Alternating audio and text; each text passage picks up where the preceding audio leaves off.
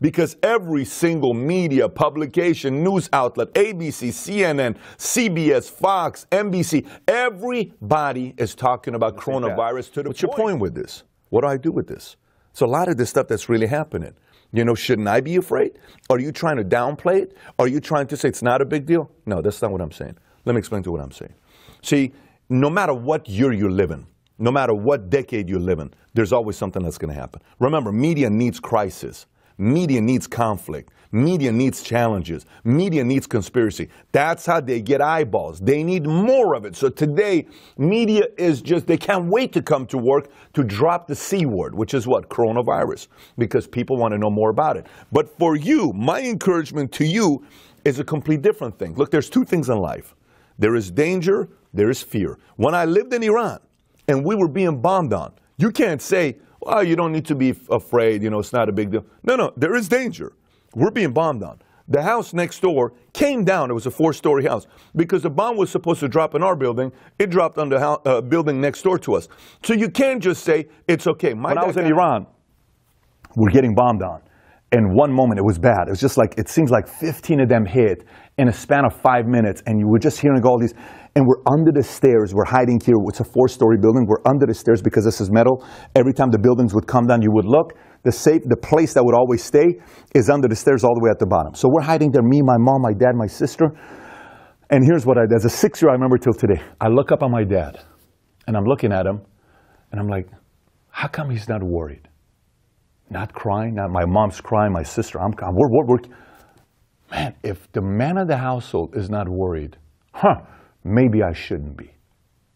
And we thought we're going to die. And we can control anything. We went to Karaj, bombed. Rasht, bombed. Bandar Pahlavi, every city we went to, they were bombing. So it's not like it, it's a surprise attack, right? It's like 9 11. But I looked at him and he gave me strength. Fast forward 35 years later, I remember that. As a 41 year old with three kids and a wife and a family and two companies I'm running, I'm thinking about that moment. So, for you, what does this mean to you? When it comes to danger, you have to be cautious. What does this mean? Is coronavirus dangerous? Of course it is. You have to be careful. You have to do the things to prepare yourself. You have to wash your hands more often. You have to have a sanitizer in your pocket. My fear is what takes a molehill and turns it into a mountain. The reality of it is, even though it's cost 2,500 people's lives, 3,000 people's lives, loved one. These are people that are loved by their families. Even though there's been all these deaths, fear part is flu cost 500,000 people's lives last year. 500,000. In U.S. alone, 14,000 to 36,000 people died in U.S. last year due to flu. How come the number one word is not flu? Because this is more marketable not flu. Fear is what takes something like this and turns it this big. Fear is when you and I let control of our imagination and, oh my gosh, what if this happens? What if that happens? So if you're constantly watching about getting sick, if I constantly told you, people are getting sick, people are getting sick, people are getting sick, people are getting sick, people are getting sick, you start thinking maybe you're sick. Smallest thing that happens to you, I, I think I'm sick. I, I think I'm getting something. Oh, babe, I think I'm getting something. Why do you think? Kids who are raised in an environment where parents don't tell them how amazing they are, where parents don't challenge them or encourage them. Why do you think sometimes these kids are raised and they don't think highly of themselves?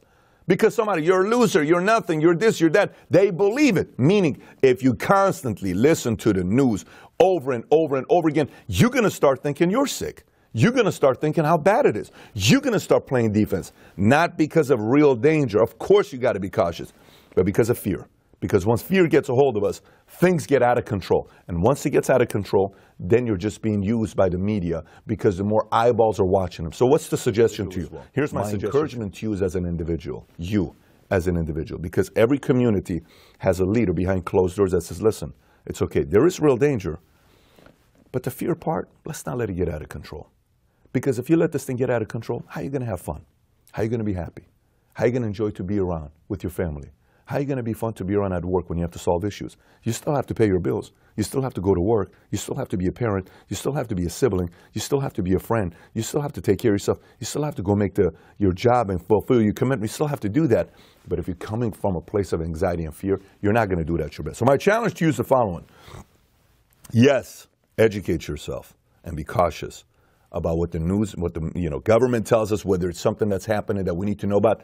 Yes, do be cautious on what is going on. Do take the necessary precautions to wash your hands and sanitize and all that stuff. But the moment somebody tries to mess with your fear and your imagination to take it out of control, don't let that happen to you because today.